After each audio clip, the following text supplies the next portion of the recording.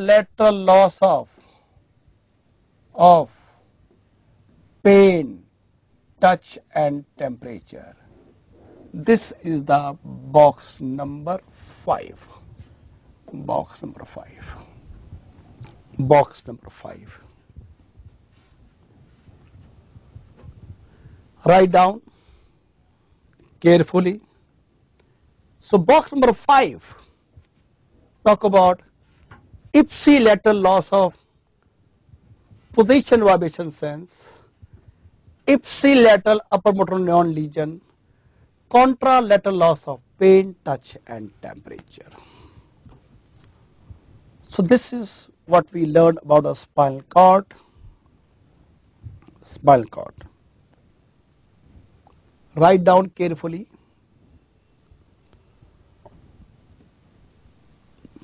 Okay.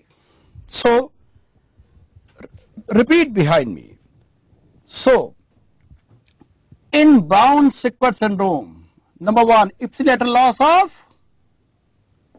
yeah, ipsilateral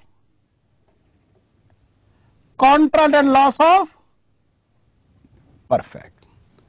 This is Brown-Sequard syndrome.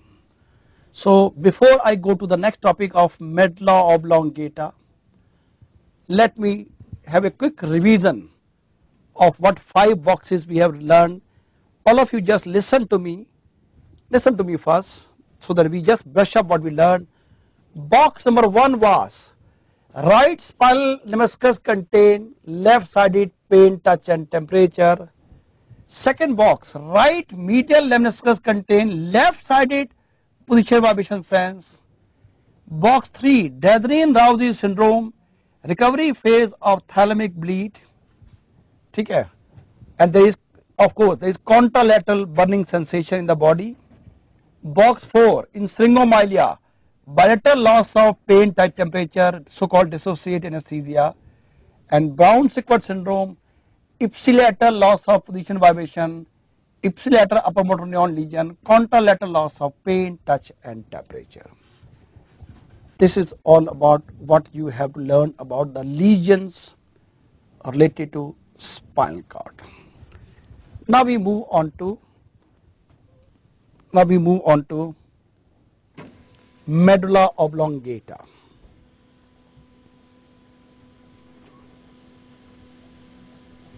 Yeah. So as we move upward in the spinal cord comes the medulla oblongata. So first you draw with me, then I'll explain to you all lesion what you have to remember it. The next topic is medulla oblongata. The anatomy is like this. But before that, before I discuss the medulla oblongata, I think I should discuss one very basic thing. It's just a brush up of your knowledge of anatomy. This is the midbrain, pons, medulla oblongata. Midbrain, pons, medulla oblongata, so called the brain stem. Here is the cerebellum, cerebellum. Cerebellum is attached to midbrain via superior cerebellar peduncle. Midbrain is attached to cerebellum via superior cerebellar cerebellar peduncle. Cerebellum is attached to pons via middle cerebellar peduncle and the cerebellum is attached to medulla via inferior cerebellar peduncle. So superior, middle and inferior cerebellar peduncle. This is a simple the brush up of your knowledge what you learned in your first year anatomy. Cerebellum is attached to superior, middle and inferior cerebellar peduncle. Having learned the basic, I think I can rub it out. Yeah. So now we come to the medulla oblongata. So first we learn the basic anatomy, then only you will understand what is going to happen.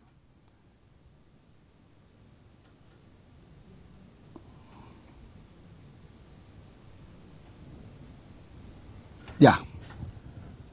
Medulla oblongata. This is the inferior cerebellar peduncle. We just learned inferior cerebellar peduncle. That means cerebellum is attached to medulla via inferior cerebellar peduncle. We just learned right now. Here is the 10th nerve nucleus. 8th nerve nucleus. 5th nerve nucleus. 8th, then 8th, 5th nerve nucleus. This is the sympathetic chain. sympathetic chain zoom करेंगे close close up देंगे yeah much better so 10th nerve nucleus 8th nerve nucleus 5th nerve nucleus and sympathetic chain and here is the spinal lemniscus ये right side है this is the right side. This is the left side. So this is 10th nerve nucleus, 8th nerve nucleus, 5th nerve nucleus, casimir chain and spinal lemniscus. This is all right sided. You remember this spinal lemniscus? It's right sided. Spinal lemniscus. It contains which fiber? Left sided? yeah? Yes. It's right sided spinal lemniscus, it contains left-sided pain, touch and temperature. Having learned the anatomy, now let's go to the clinical side of medicine. Now, this part of the brain, this part of the brain is supplied by branch of vertebral artery. Branch of vertebral artery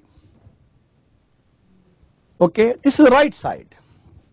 So, structure involved are right-sided inferior cerebellar peduncle, right-sided 10th, 8th, 5th, sympathetic chain and right-sided spinal lemniscus.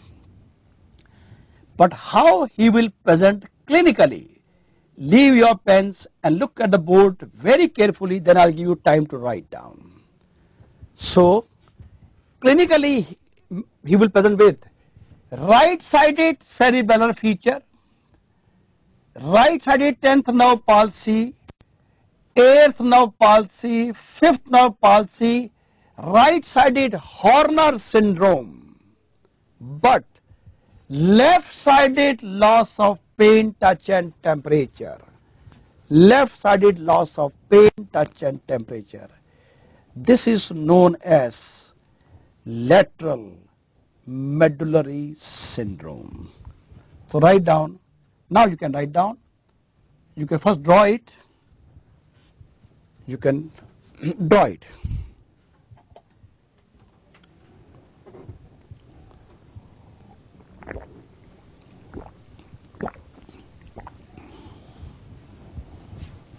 So lateral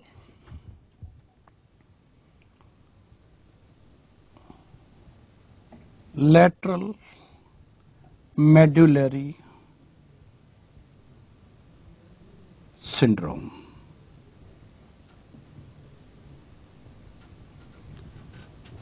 equal to ipsilateral, same side, same side cerebellar feature.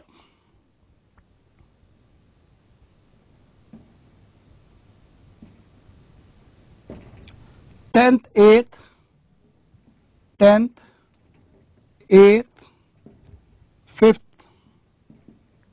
nerve. Palsy,